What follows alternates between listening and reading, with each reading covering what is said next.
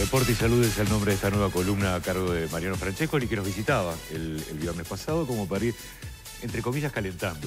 Exacto, exacto. El viernes estábamos haciendo un poco como el lanzamiento de este espacio, que va a estar todos los viernes sobre esta hora. Y bueno, y hoy trajimos un tema que estaba anunciando Eliana, que es justamente las bases o los pilares del rendimiento físico. ¿De qué hablamos cuando hablamos de bases o pilares? Es de qué depende nuestro, nuestro rendimiento físico. Tiene varias variables y varios componentes. No solamente depende de cómo entrenamos o cuánto entrenamos, sino hay otros factores que también lo componen. Y lo tengo acá, arriba de la mesa, para poder graficar, arriba de nuestro, de nuestro escritorio, para poder graficar de qué depende. Trajimos un despertador. Creo que poca gente usa el despertador hoy en día. Casi todos usamos el celular para, para ponernos el despertador. Y queremos graficar con esto el sueño, el descanso. Es un pilar fundamental, Cairo, para nosotros. ¿Cuántas horas dormimos y cómo las dormimos? La calidad del sueño. ¿Vos cuántas horas dormís por día promedio? Cinco horas. Pero las duermo, las duermo bien. Las dormís bien dormidas. Las duermo bueno, bien. eh, yo, yo duermo aproximadamente esa cantidad de horas, a veces un poquito más, a veces un poquito menos, y no las duermo a veces de la mejor manera. Tengo como una, un punto ahí a mejorar y a poder corregir. Eh, el sueño, la calidad del sueño y las horas de sueño que dormimos es muy importante. ¿tá? Obviamente todos sabemos que es en el entorno de 8 horas la cantidad que tenemos que dormir.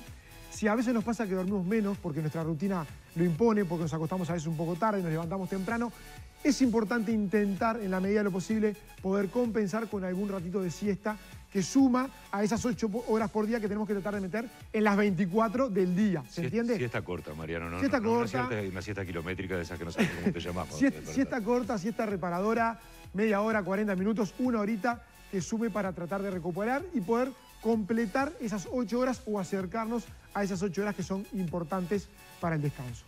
El segundo punto, bien importante también, traje una manzana, y es la nutrición, ¿verdad? La nutrición, lo que comemos, es justamente el combustible que nos ponemos en el cuerpo para funcionar. En la enorme mayoría de los casos, y esto es un tema para nutricionista, licenciado en nutrición, que vamos a invitar y vamos a, a hablar específicamente del tema de nutrición, pero como lineamientos generales, la nutrición es el combustible. Comer mal no es solamente un tema estético y que estoy sumando calorías y que puedo ponerme unos kilos de más y que puedo quedar gordito o gordita. No, sumar calorías, comer mal es ponerme mal combustible, mal combustible en mi organismo, mala energía y obviamente estoy haciendo cosas que no son saludables y seguramente si eso lo hago un hábito, me alimento mal de forma permanente, eso me va a traer problemas de salud de diferente tipo, ¿sí? Hipertensión, diabetes, un montón de, patologías que se pueden despertar a partir de una nutrición inadecuada. El tercer componente, bien importante, y traje unas mancuernitas para graficarlo, es qué uno hace, cómo uno entrena y cómo uno se prepara físicamente. Hay gente que está totalmente eh, eh, sedentaria, hay gente que tiene una rutina aplicada que la hace cuatro, cinco, seis veces por día, eh, perdón, por semana, y hay gente que un par de veces por semana se mueve. Esto es bien importante porque uno tiene que tener claro qué es lo que quiere hacer, cómo se tiene que preparar según el objetivo que tenga. Cairo, vos haces actividad física, haces deporte, ejercicio. Deporte, deporte no, pero soy muy inquietito, por decirlo de alguna forma. Todo lo que yo hago es de gran porte, entonces... Estás todo el tiempo en movimiento. Generalmente sí. Pero no salís ni a trotar, No, ni andás en no, bicicleta, no. fútbol 5 con amigos, tampoco. Yo me dan una pelota y no sé qué hacer. Tampoco, bien. Entonces, específicamente no hace nada. Está bueno el, el- el caso de Cairo porque ahí, ay, come bien dice cámara. Bueno, algo tengo que hacer, pues, tengo que alimentar este cuerpito. No, bueno, sí, está bien, está bien, tiene razón, tiene razón este pito. Está bueno lo que dice Cairo, porque cuando hablamos de, pilares del, ejercicio físico, del rendimiento físico, tiene que ver con eso. Vos, Cairo, que no haces una actividad específica, tenés que descansar bien y nutrirte bien para tener combustible para ese gasto calórico que vos tenés que vencer X calorías por día según lo que haces. Obviamente que si te preparás físicamente para algún deporte, alguna disciplina, porque te gusta, eh, consumís más calorías y esto va a tener que estar contemplado de otra manera. Pero esos son los pilares importantes. Hay un cuarto componente que es el médico. Mucha gente tiene un bajo rendimiento físico, se siente que está con poca energía, que está sin ganas, que está apático, como podemos decir, y es realmente porque está teniendo algún tema médico que tiene que ver con alguna patología que está transitando, algún tema que tiene, falta de algún nutriente, que no sé solamente con la nutrición lo puede contemplar, hay que tomarlo externamente, pero ahí es la figura del, doctor en medicina, del médico, el que entra para decirme, para hacerme los análisis correspondientes y decirme realmente cómo tengo que hacer para, para ponerme bien.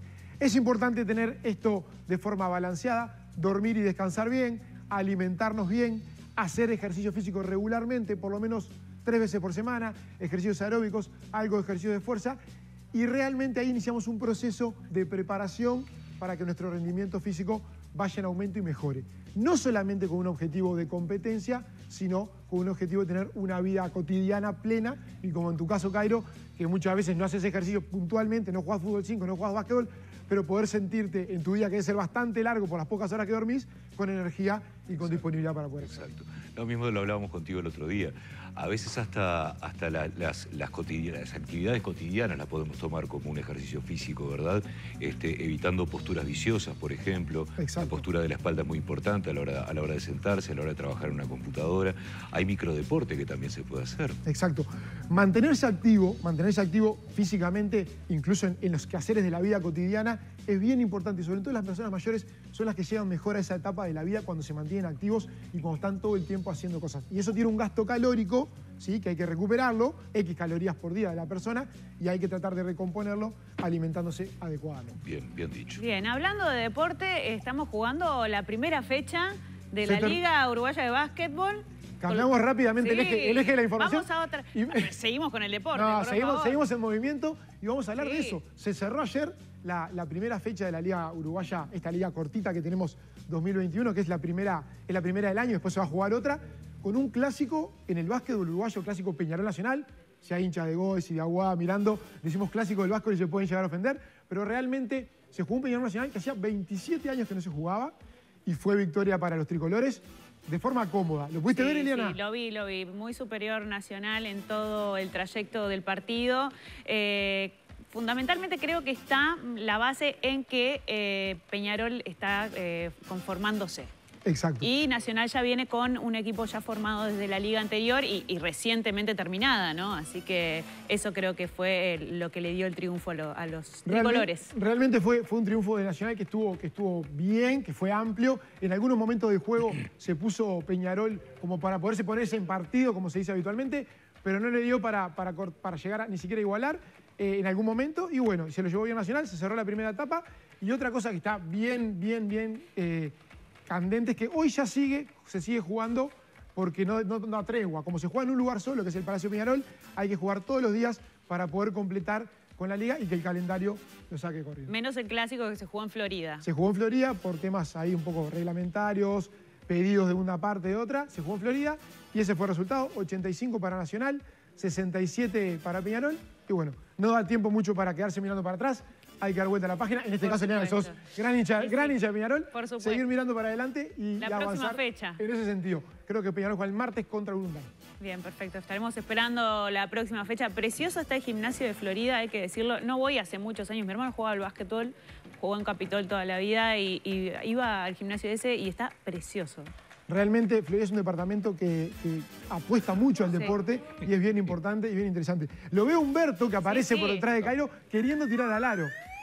No, hay un aro. No hay, aro, no hay pelota. No le y Humberto ha jugado al básquetbol. No hay jugador, ¿Dónde? Eh, en la cancha de estudiantes en Canelones, que está frente a lo que era el hogar del Inahuayá, en la zona de Parada Rodó.